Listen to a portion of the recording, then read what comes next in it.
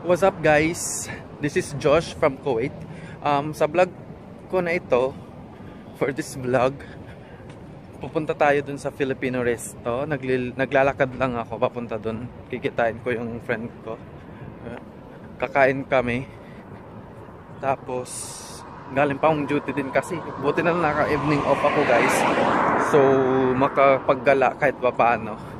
Ganyan lang yung buhay dito sa Kuwait. I mean, buhay ng OFW. Gagala pagka may time. Kahit walang pera, labas lang konti. Yan, labas lang. Dito na tayo sa labas. Naglalakad na tayo. Yung Kuwait, poor building lang. Yung makikita mo dito sa Kuwait, eh, nothing else. Kung gusto mong mag-mall or yan, malling, mag-shopping, window shopping pag walang pera. window shopping, babalik ka na lang. If there is sale, babalik ka na lang dun pag may pera ka na. Pero pag wala, nga nga.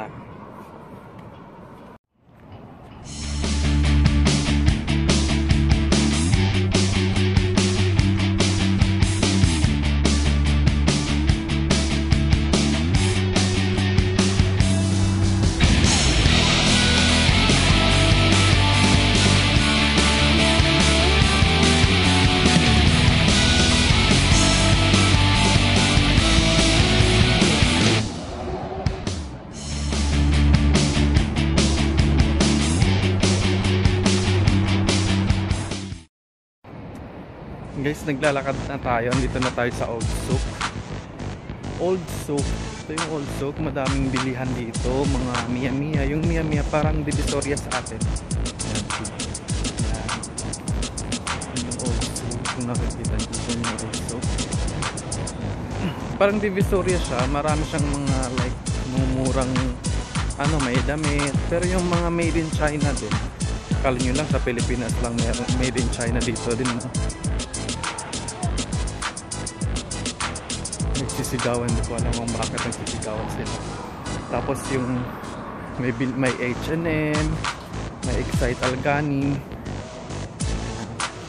Yung Excite Algani yung kuhanan ng ano kung gusto mo kumuha ng gusto mo kumuha ng mga gadget iPhone, iPad, Samsung yung mga ganyan, pwede kumutang dun. Pero ang, ang laki ng interest nila so much better. I-cash mo na lang pag may pera ka na. Mahirap kasi mangutang sa abroad pagka na-start mo na ng mangutang mangutang ka ng mangutang hindi ka na makakaahon. So much better mag mag-cash ka na lang. Pag ipunan mo paghirapan mo at bilhin mo mag-cash ka na lang madali pa. Yan guys malapit na tayo ngayon. Um, konting lakad na lang mga siguro 5 minutes. Baka nagtaka kayo ang init tapos naka-jacket ako. Kasi malamig na. Medyo winter na dito. So naka jacket ako wala pa masyadong tao dito kasi every ano mag start sila ng open dito 8 o'clock. Ano I mean 10 o'clock.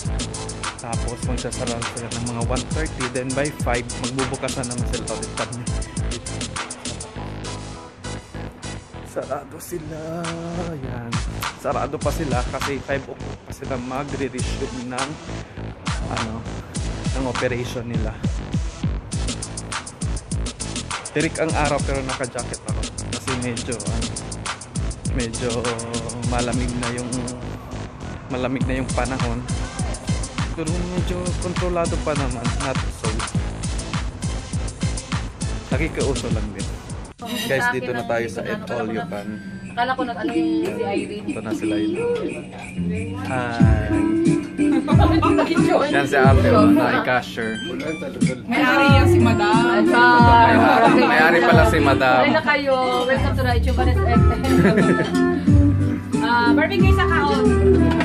Ay, nagpusat. Ay, Barbecue ka? Ngayon lang. Magpa-barbecue Hindi ka ka? nagpusat. Ito ba? Oo nga, ito na Hula-hula lang daw sila ng ano. yung pagkain namin oo ano masasabi mo Wala. masarap ba Gutom na ako. gutom ka na ba Hindi ako minom ng gamot. Panadol Yung pinadala ni Javi ka na.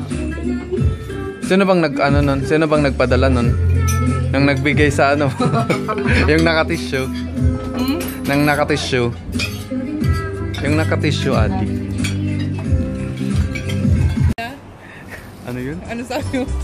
Guys, tapos na po kami kumain. Busog na si Lai na. Busog ka na, Lai?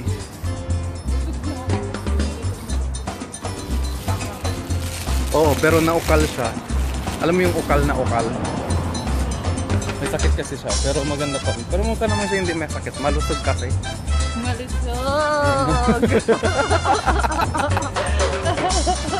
Lusog sarap. Lo, nabayaran natin 5KD. Ay, 5KD rin Alam mo kung bakit? Barbecue mo, dalawa. Ay, auto KD. Tapos 1.5. Ay, tama. Hindi ka talaga marunong sa map. Ano daw? Daw ako marunong sa... well, nung time namin nag-aral ako, English lang meron. Wait, Walang math. Ba't hindi ka pa na-inform na? Ibang English. Tulog yung teacher ko. Tulog daw yung teacher ko, guys. Punta kami dun sa may sale. Sana may makita.